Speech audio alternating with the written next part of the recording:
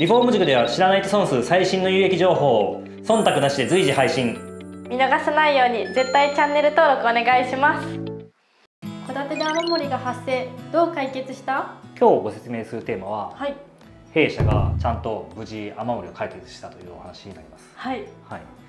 リフォーム会社をお探しの方必見。これまでリフォーム塾に出演していただいた企業を地図から探せる。詳しくは概要欄へで雨漏りってまあいろんな原因がありまして、はい。当然屋根からの雨漏りもありますし、はい。外壁からの雨漏りもあるんですよ。このお客様については前あの屋根のカバー候補の動画撮らせてもらったと思うんですけど、はい。そのお客さんでしてもともとは雨漏りがするから来てくれっていうお客さんだったんですよね、で行くとこの今写真写ってますけれども、はい。大きく2箇所で雨漏りしてまして、はい。和室側でいうとこの吐き出し窓の上部分から水がポタポタ落ちてくる、うん。そういった形で雨漏りしてるっていうところを伝えられましたと、はい。でここ以外にこの和室以外に玄関側のリビングのはい。同じく吐き出し窓ですね、うんはい、外に出れるような窓の同じく上の方から水がポタポタ落ちてくるそうだったんですね。はい。はい。というようなところで、まあ、症状をお聞きしましたと、はい。雨漏りの、えー跡も残ってますと、はい。はい、いうところでしたと。で、えっとまあ、こういった事象が発生するのでどういった時かというと、まあ、特にこれ1階なんであれなんですけど、はい雨が、まあ、普通にこう上から降ってる時っていうのはそんなならないですよね。強かったとしても多はい。少それが。でただそれが横殴りなのやっぱ多いじゃないですか台風が来たりすると。はい。なるとこういうふうになるんですよと、はい、いうようなお話でして、はい。まあ、その調査が始まりましたと。はい。まあ多分再現されないやろうなっていうのをちょっと薄々思ってはいるんですけど、はい。塗装屋さん読んでまずサッシ周りから水をかけて、えー漏水しないか雨漏りしないかというのを確認していきましたと、はいこれなんでサッシ周りこうやって水かけてみてやってると思います、サッシのとこに穴が開いちゃってるかを確認するってことまあそうですね。このやっぱりこう雨漏りの原因の、えー多くはサッシ周りでやっぱ発生しやすいんですよ。うんうん。っていうのはこれ何かというと、まあ、木造住宅の場合、まあ、柱立てて、はい。でその間にこう、まあ、窓ははめるわけじゃないですか、はい。でその間はこうモルタルの壁やったりするわけなんですけれども、はい。その、まあえーモルタルの壁と、えー窓周りの接合部分っていうのは、はい。コーキング、はい。はいまあ、シーリングとか言ったりしますけども、で仕上げされてますと。でそのシーリングがやっぱ切れて、うん。はい、そこからこう水が侵入してっていう結構ありがちはい。な話でして、まあ、それを確認するのにこうやってまあシャワーで水をかけて、はい。はい、そうやって漏れてこないかっていうのを確認してるっていうところですね。でやっぱりこんなんじゃね分かんないんですよ。まあ、少なくとも塗装屋さんがこうやって、まあ、10分ぐらいやってみたんですけど、はい。ななりませんでしたと。でその他怪しいところがあったのははい。外壁のこの目地ですね、うんうん。はい、外壁材と外壁材があって、はい。その間にはまた先ほどのサッシ周りと同じようにまあシーリングコーキングが打たれていて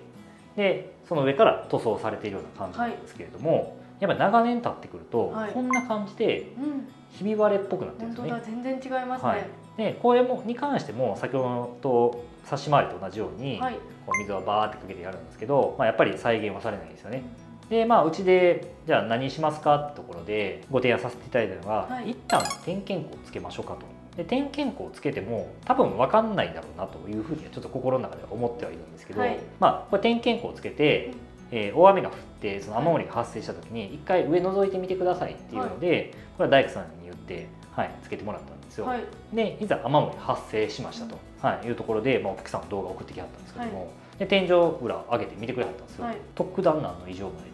そうなんですね。と雨漏りの後は見れないと。はい。いうことで、逆に言うとこれで分かるわけなことが一つありましてそれは何かというと上からじゃないということだけは分かるんですよね、はい。雨漏りの原因が。うんうん。横からこう伝ってはいはい。多分その窓周りに侵入してるんだろうというところがまあ一つ分かったというところでありますと。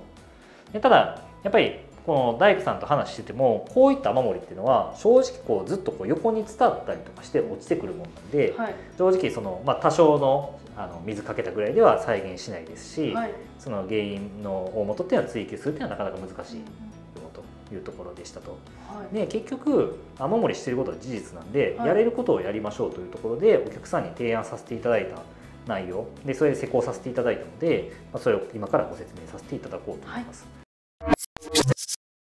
で何をしたかというと、はい。やはり先ほどのこの怪しいと言っていたコーキングの切れ、はい。はい、外壁材と外壁材の間の、えーコーキングの切れっていうのがまあ一番怪しいんじゃないかというところでこれをやり替えましょうという話をしましたと。はい。で先ほどあとお伝えしたようにサッシ周りもやっぱ怪しいんですよね。雨漏りとして可能性としては。はい。こちらに関しては特段ひび割れっていうのははい。散見はされなかったんですけれどもそのコーキングシーリングからやり直しましょうと、はい。はい、いうところでご提案させていただいて対応しましたと、はい、それどういうふうに対応したかというと、まあ、当然このシーリングを取りますと、うん、はい、これいろんなやり方がありますんでシーリングを撤去してやり直す、はい、そういう方法もあればこの上にもともとの、えー、シーリングがあってその上に重ね塗りみたいな感じで対応する場合もあります、はいはい、はい、費用的には重ね塗りの方が安いんですけれども、まあ、ちゃんとやろうと思ったら一回撤去してっていうところ、はい、で、えー、特に重要な縦目地と差し回りについては撤去してやり替えましたと、はい。はい、いうところになります。で清掃してプライマーと下地処理して、はい、改めてこれ充填すると、はい、いうところですね。それは差し回りでも同じようなことをやりましたというところになります、はい。はい、これ周り全部やったってことですか？そうですね、はい、横目地も含めて。横目地に関しては、はい、えー、今回、えー、施工担当と相談して重ね塗り、うん、撤去せずにその上から、はい、やったんですけれども、はい、窓周りと縦目地に関しては全部、えー、打ち替え、うん、既存のやつを撤去してもう一回充填すると、はいいうやり方で収めさせていただきました。もう一つ今回の施工で特徴的なところとしては下地処理になりまして、はい、今回その下地まずこれ塗装って、はい、まあ、最初高圧洗浄してでその上に、えーまあ、下塗り中塗り上塗りって大体これ3回施工なんですよ。はい、はい、で最初にこう、まあ、下地材を塗布するわけなんですけれども、はい、今回それをマスチック工法という工法で対応させていただきました。はい、でこのマスチック工法ってこれ何かというとこの今ローラー、まあ、ローラーで塗るわけなんですけども、このローラーがまあマスチック工法で使うローラーになりまして、はい、まあ、何かというとより多くの塗料を吸い込みやすいようなローラーになってるんですよ。えー、すごい。だから簡単に言うと塗料の厚塗りができるんですよ。うん、なるほど、はい、で厚塗りができると何ができるかというと細かい、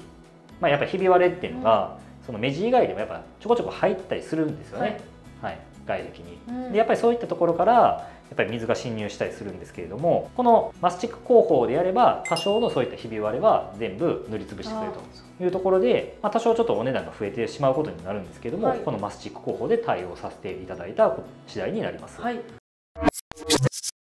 え最終その中塗り上塗りということで、え今回、まどの塗料で対応させていただいたかというとこれ塗料もいろんな種類がありまして、はい、そもそも今回このお客さんに関しては大体78年ぐらい前に塗装はしたと。はい、ただ雨漏りしてるっていう話だったんですよね、はい、でやっぱり紫外線とか強いとどんどん劣化はしていくのはまあ事実ではあるんですけれども、はい、まあ、大体こう安い塗料になりますと対応年数でいうと10年持たないと、はい。まあ、78年とか、まあ、そんなものが多かったりするんですけども、はい、今回 SK 家研というメーカーの SK プレミアムシリコンという、まあ、シリコンの中でも、まあ、プレミアムなものと、まあ、詳細ちょっと僕も説明できないんですけども、はい、まあ、簡単に言うとこれになりますとえー、持つのが15年持ちますよと、はい、金飲みましたね、はい、うんうん、っていうもので、えー、塗らせていただいております、まあ、当然値段的には、まあ、あのその他の、はい、10年持たないような、えー、塗料から比べるとちょっとお値段は上がってしまうんですけれども、はい、まあ、やっぱりねやっぱ1回塗って、えー、すぐ同じように雨漏りしたみたいな感じで言われても困りますので、はい、はい、今回はちょっといいもので、はい、対応させていただいたということになります。はい。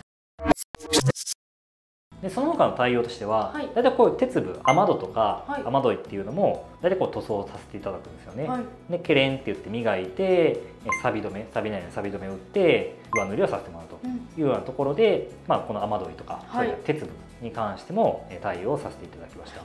その結果はこれです、うん、はい、いうところで、まあ、屋根も対応させていただいたわけなんですけれども大体費用でいうと、はい、えー、まあ、コーキング打ち替えっていうのはかなり今回しましたので、でその上で、まあ、いい塗料を使わせてもらってもちろん足場立てますしっていうところで、はい、まあ、大体こう200万弱ぐらい税込みでいうと200万弱ぐらいの費用がかかりましたと、はい、で参考にこう面積ということでやっぱ30坪ぐらいの戸建てでの、はい、話になります、はい、えー、結果なんですけど、はい、まあ、先日、まあ、お盆秋ぐらいもでかい台風来てたじゃないですかはい来てましたね。で大体こうこの施工終わってから、まあ、1週間2週間以内の大雨やったんですけど、はい、でやっぱ僕らもちょっとドキドキするじゃないですか。お客さん LINE つながってるんで、はい、雨漏りした瞬間に LINE 来るやろと思ったんですけど、はい、まあ、来なかったんですよ、うん、休みやったんですけど、はい、ちょっと若干パフォーマンスもあるんですけど、うん、大丈夫でした？って聞いたら、大丈夫ですって聞いたからほっとみたいな。よかった、っていうことでやっぱり多分縦目地が、はい原因だったのかなかなというところで浸透してきてたんですね、はいまあ、何よりもお客さんの雨漏りが止まってよかったというところで、はい、そのご報告を兼ねての動画撮影となります。よかったです。はい、以上になります。今日はありがとうございました。ありがとうございました。